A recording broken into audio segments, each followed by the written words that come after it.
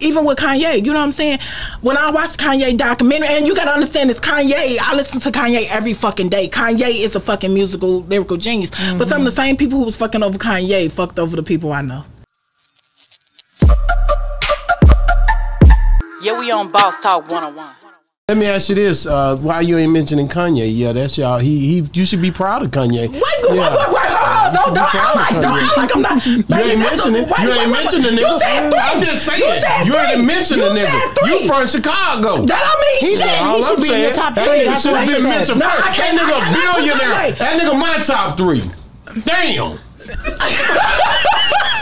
I cannot put Kanye over KD.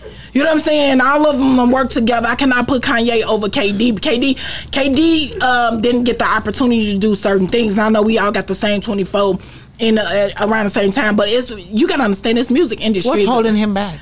This music industry, um, signing bad deals. Yeah. Um, being you. blackballed it's like it's a whole story. This this shit ain't it's not slight. It's it's even with Kanye. You know what I'm saying? When I watch Kanye documentary, and you gotta understand this Kanye. I listen to Kanye every fucking day. Kanye is a fucking musical lyrical genius. Mm-hmm. But some of the same people who was fucking over Kanye fucked over the people I know. Wow.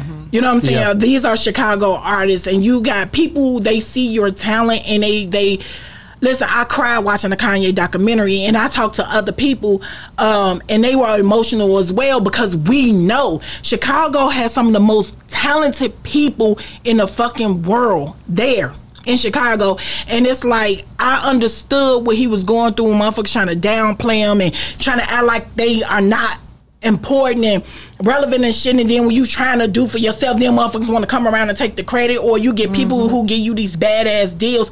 It's horrible. Mm-hmm. it's fucking horrible. I done had a bad deal. When my first publishing deal came out i had a bad fucking deal you know what i'm saying it's like when you when you're eager to get on, you sound with these motherfucking people, and they mm-hmm. they look at you, and then they don't pay attention to you because they go on to something that's bigger or better. Yet they think it's bigger or better.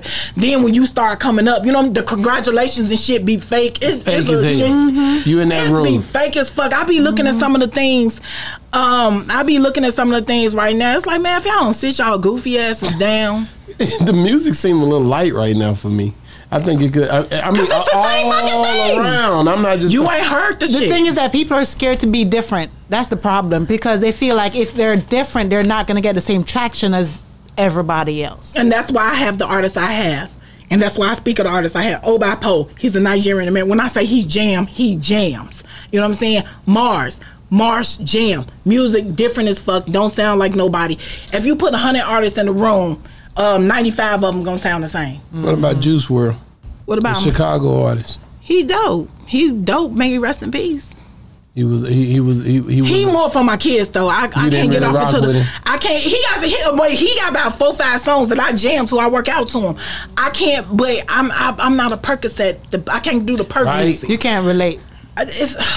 I, I can't. It's that's more my kids, my children. You know what I'm saying? I'm more of that man. Give me the beat and give me some lyrics, some real shit. Yeah. You know what I'm saying? Talk about some real shit. I don't. Mm-hmm. I'm not struggling every motherfucking day now. You know what I'm saying? Mm-hmm. Ain't Common from over there? Uh, Common, Common, yeah, and and uh, Chance the Rapper. Yeah, yeah. They was talking real nice. They don't listen to them no more. They don't cuss enough. Exactly.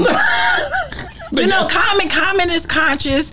Um, it's it's another. It was another. What was artist. Tank saying the other day? Remember, you were, you're showing me something, oh, and Tank was, was talking Sam. about R and B. Yeah, I mean Sam. Sam. No, whatever. but it's the fact that um, what he's saying and how R&B he's saying R and B part. R and B is not here for them, but for me and you, baby, it's always around. R and B gonna always be around. It's gonna come back though. It's coming back. So? I, I, think, think it's so. coming back. Not if we depend on this new generation to they, not, they don't even dance to slow music. You go to the party, to you young niggas, they don't even have no slow song. I'm like, damn. Oh my they god. Don't wanna, they they do this in the corner. I don't they understand how they still make babies. That's it. They don't want you body them. They they their own world.